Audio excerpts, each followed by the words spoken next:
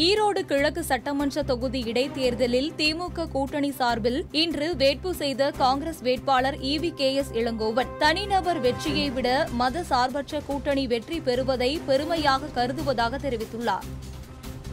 எங்களை பொறுத்தவரையில் இந்த தேர்தலில் ஒரு தனிப்பட்ட மனிதர் வெற்றி அடைவதை விட மதச்சார்பற்ற சக்திகளுடைய வேட்பாளராக இருப்பதற்காக வெற்றி பெற வேண்டும் என்பதைத்தான் நாங்கள் விரும்புகின்றோம்.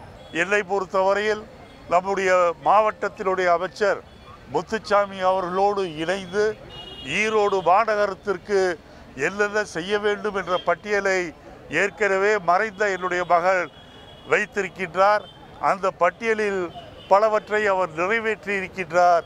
மீதம் உள்ளவைகளை நிறைவேற்றுவதற்கு நான் பாடுபடுவேன். அதேபோல் சாயக்கழிவு நீரை எப்படி அப்புறப்படுத்துவது?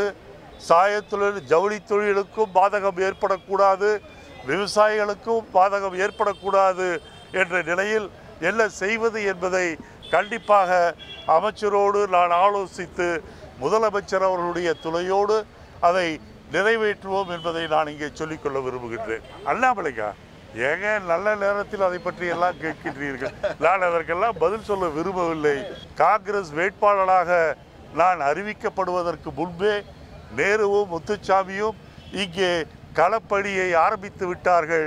பெயரை சொல்வதற்கு முன்பே கை சின்னத்திற்கு அவர்கள் ஆதரவு தேடிக்கொண்டு இருக்கின்றார்கள். மற்ற அமைச்சர்களும் மிக சுறுசுறுப்பாக வேலை செய்து கொண்டு இருக்கின்றார்கள் கண்டிப்பாக இந்த கூட்டணிக்கு மிகப்பெரிய வெற்றியை கை சின்னத்தில் தருவார்கள் என்று நான் நம்புகின்றேன்.